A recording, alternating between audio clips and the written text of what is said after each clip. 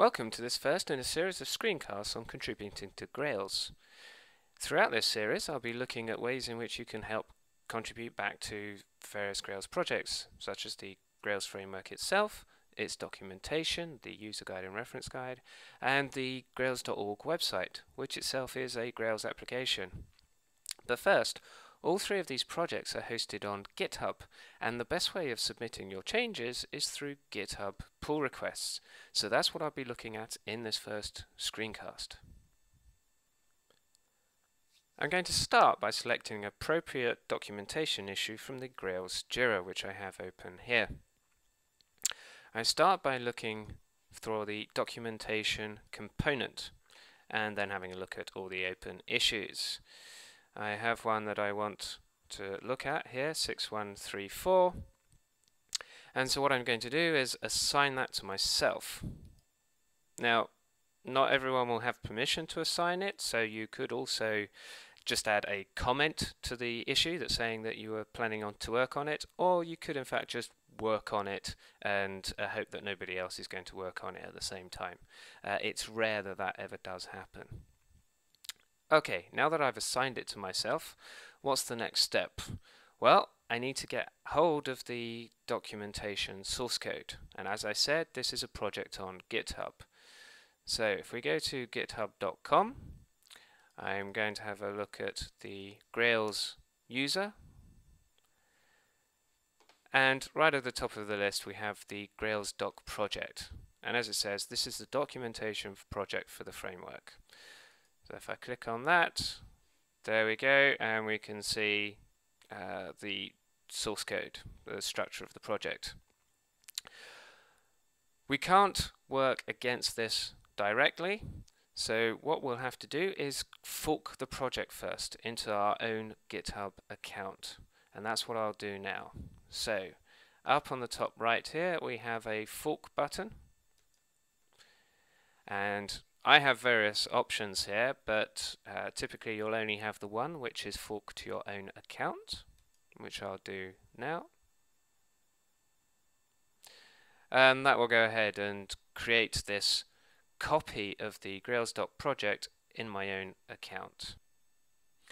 Once the repository has been forked, we're almost ready to get a local copy of the project source and start working with it. But first we need to give ourselves authorization to commit to this repository. So I've, uh, if you haven't done so already, go to help and follow these instructions on generating a key pair, setting your username and email in Git, and then GitHub also gives you an explanation of how to fork an existing repository. Okay, so I can now copy the SSH URL here, go to a terminal and execute git clone and pass in the URL there. That will then bring a copy of the whole project down to my local drive so that I can work on it. Okay, so I now have my clone. If we have a look in this directory, it's created a directory named after the project. So if I have a look in here, Grails doc, lib resources src. If we have a look in src, we see there is a guide and a reference directory, and that is where the source for the user and reference guide goes. Okay, so I'm looking at issue 6134, environment variable Grails not documented.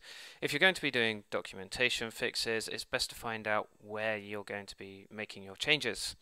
So this is to do with the command line. So if I go to the user guide and have a look at section 4, the command line, and we see this is where it explains how to start the Grails command.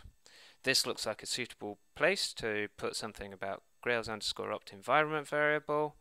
So I remember the number.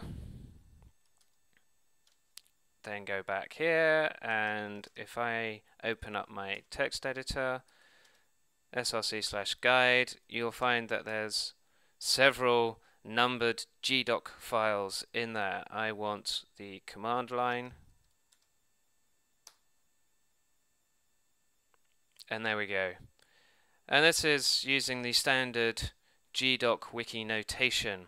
So stars for unordered lists, at for monospace, etc. Okay, I'm now going to uh, make the changes and then we'll come back and commit them. I've now finished my changes, so if we go back to git in the terminal, if I run git status, I can see that it's showing modified the command line.gdoc. I can also have a look at the changes themselves by running git diff. There we go. Now, I'm currently on the master branch. In fact, I only have this one local branch called master. What I want to do is make my changes to a feature branch, and it's that that I'm going to submit as changes to the source project. So, what I'm going to do is create checkout minus b and you pass the name of a new branch. In this particular case, the branch is going to be named after the Jira issue. And this will basically fork the current branch, the branch that I'm currently on, i.e. master in this case. There we go, I'm now on branch Grails 6134, witness the star next to the name on the left hand side. Uh, I'm now ready to commit my changes. So first I have to add them. Uh, I typically use the patch option, which then asks me which changes I want to add. So I go, yes, I want to include that one. Now finally, if I have a look at status, it will show me uh, what has changed. And now you may notice that it says changes to be committed. So when I run git commit, everything in that section will be included in this commit. So minus m commit message. For Grails, the commit message should, if there is a associated Jira issue, it should contain its ID, and it should also contain a, at least a brief description of what the change constitutes. So I'm going to say this is, I've implemented Grails 6 one, three, four.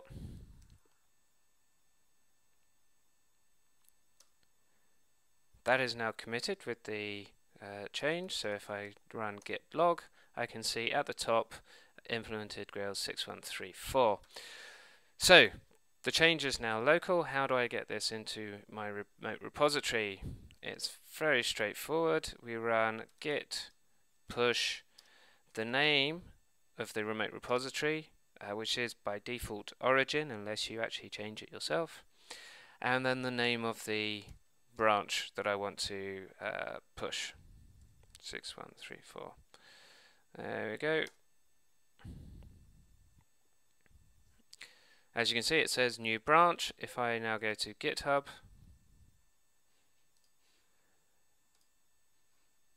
and refresh I'll see there's a Grails 6134 branch. Okay, so my fork has the change in it, but how do I get that back to the main Grails doc project?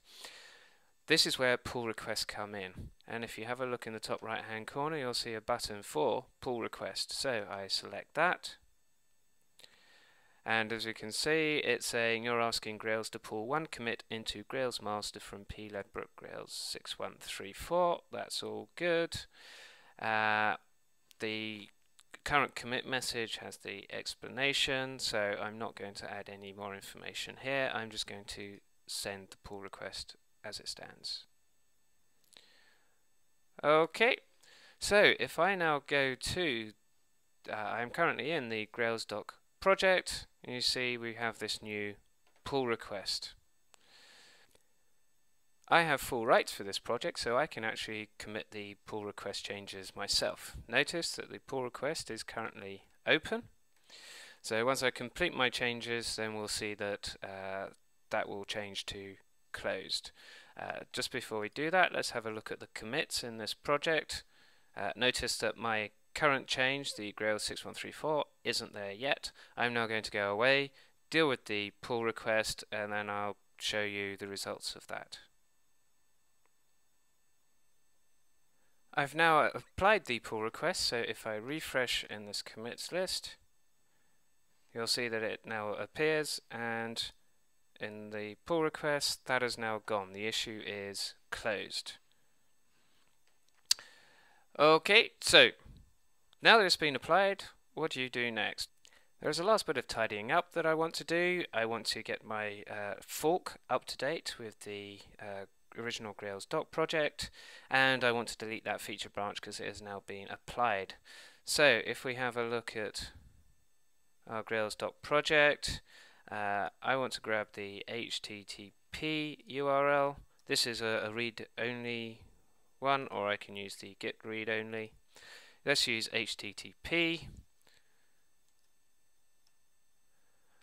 I want to add this as a another remote repository to my local clone. So I'm back on my local clone here, and the magic syntax is git remote add. I'm going to call it upstream, and this is the URL. Uh, in fact, I'm going to change that to HTTP from HTTPS. Okay, and now if we have a look here, I'm currently on the master branch. Uh, I'm now going to pull from upstream and I'm going to pull the master branch from the Grails doc project. So if I now have a look at git log, we can see that the uh, pull request that we sent has been applied and we have now got it in our master branch. So last thing to do is to clean up that feature branch that we created. It's branch minus capital D, name of the branch 6134. And if we run git branch again, there we go, we're back on master. And now we can go through the whole process again, create another feature branch, uh, push it to the R local fork, and then um, send a pull request. Uh, we're not quite done yet. Our local copy is up to date, but our fork repository on GitHub isn't. So we just run git push origin master. So we're going to push our master branch to the R fork. And lastly, currently that Grails 6134 branch is still on GitHub as well. So if we have a look, if I go to pledbrook slash grails doc. Okay, we can see Grail 6134 is still there. To delete that, we use a push command again. But this time the syntax is colon. It's very important. It's just colon and then the name of the branch. And as git will tell you, it's deleting that branch. If we go back, refresh, and that branch is now gone. And that's it. I hope you enjoyed this screencast and that uh, you, this will hopefully familiarize you enough with GitHub that you will feel confident enough to uh, get hold of Git and start creating pull requests for us. So thank you and, and hope to see you next time.